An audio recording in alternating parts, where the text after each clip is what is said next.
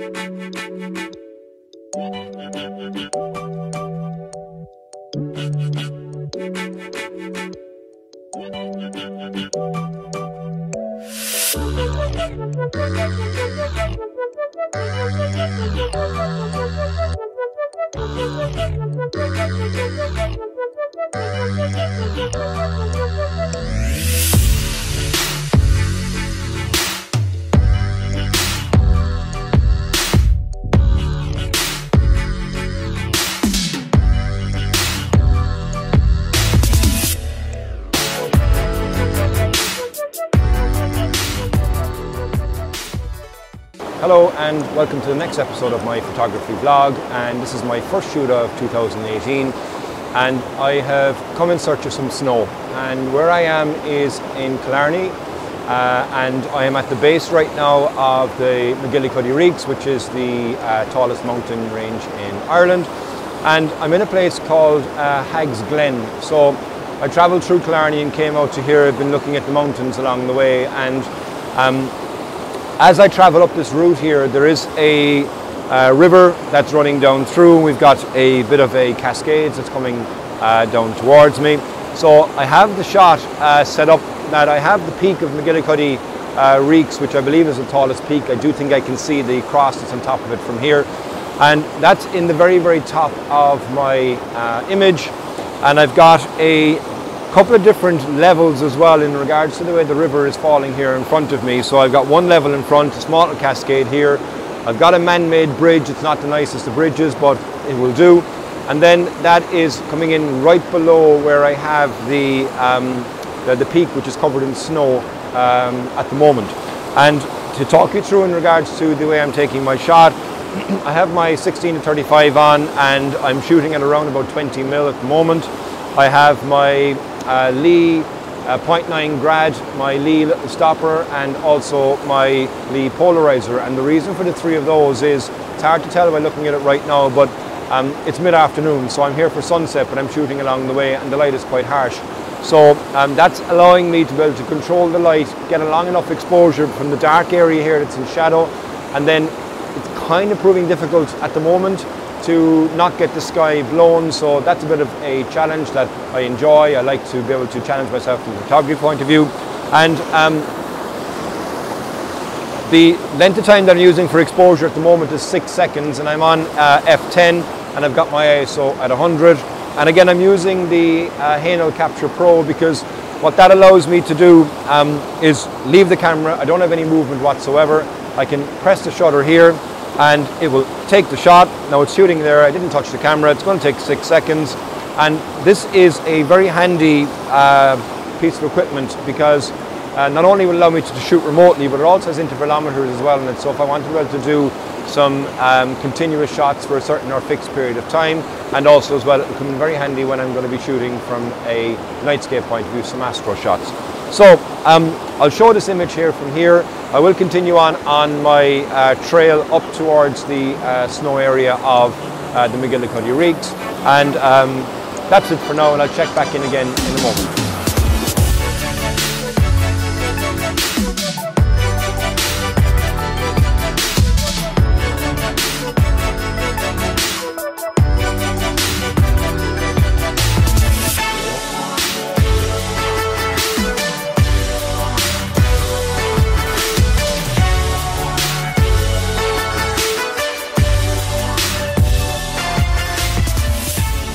So moving slightly along this uh, river here towards the uh, snow peaks of the Macgillycuddy Reeks and I've stopped at a um, very interesting cascade actually. There's some beautiful side light coming through and it's giving a lovely um, orange kind of hazy glow to the haze that's in the distance there.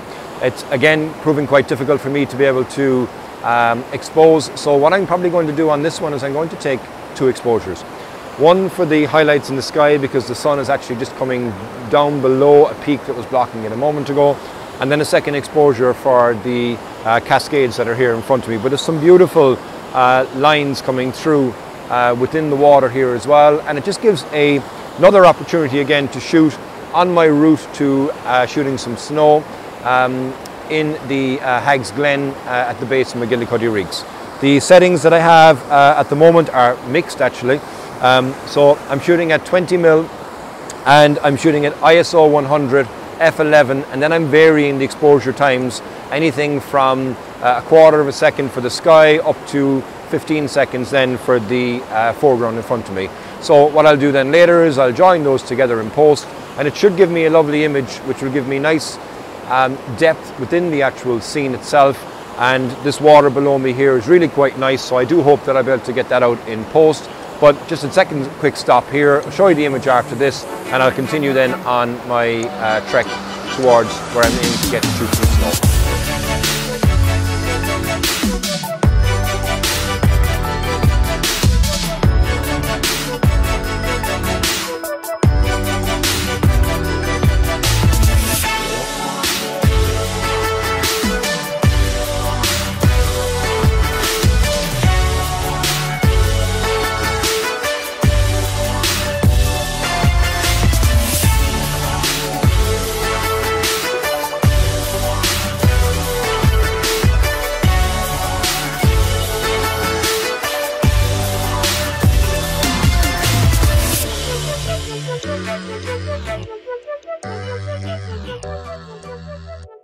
Right, so the next stop here, which will actually probably be my final stop uh, for today, kind of got distracted a lot coming up with all these um, cascades. So as you can probably see behind me here, there's some snow on the far peaks and I've also got the long lens as well now on the uh, camera and the sun is just about to dip behind the mountain range that's in front of me here. So it will help in one way because it will lose the glare that has been uh, so troublesome for me shooting today because I've been shooting directly almost into the sun. But what it'll also do then as well is it'll make the foreground quite dark and the top area hopefully will be uh, quite bright. On the far uh, uh distance here behind me, it might just be behind my uh, head on the camera there, but you can see that there's some lovely light hitting the top of the peak in the distance.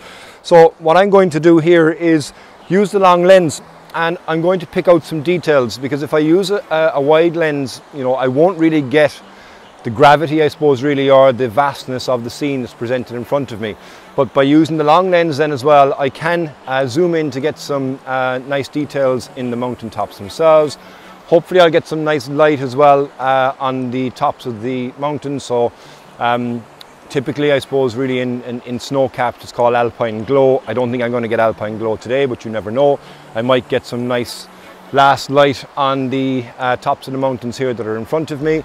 So um, I'll play around here for a while and I'll wait for the uh, light to start kicking in and if the light kicks in I'll check back in again uh, and we'll talk through in regards to the scene that I see then in front of me at that time.